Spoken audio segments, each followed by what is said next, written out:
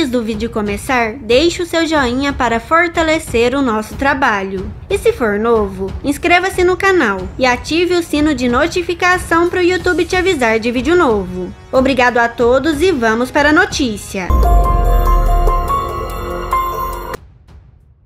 Triste adeus, faleceu um grande nome. Aos 62 anos de idade, a atriz da Globo Cássia Kiss faz um comunicado que ninguém esperava. Olá pessoal, tudo bem? Estamos de volta com mais um vídeo do canal Márcio Novaes. A atriz Cássia Kiss revelou o falecimento da mãe durante a pandemia. Não deu para se despedir. A mãe da atriz Cássia Kiss, a Dona Piedade, faleceu e a atriz não conseguiu vê-la. Ouça o que a atriz contou durante uma entrevista. Ela não morreu de Covid-19, mas foi colocada dentro de um saco como todos.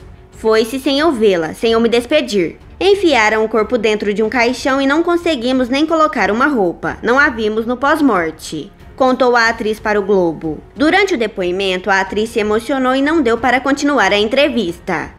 Mas os amigos e os fãs da artista deixaram seus sentimentos à atriz global Cássia Kiss. E você, conhece o trabalho da atriz Cássia Kiss? Você lembra de algum sucesso dela na TV? Deixe aqui nos comentários. A sua opinião é muito importante para nós. O canal Márcio Novaes e seus seguidores lamentam a morte de Dona Piedade. Que Deus receba ela em seus braços e conforte todos os seus familiares e amigos. Se você for novo aqui no canal, peço que se inscreva e deixe o seu joinha para fortalecer o nosso trabalho. E não se esqueça de compartilhar o vídeo. Mais informações do Brasil e do mundo a qualquer momento no canal. Obrigado a todos, fiquem com Deus e até o próximo vídeo do canal Márcio Novaes.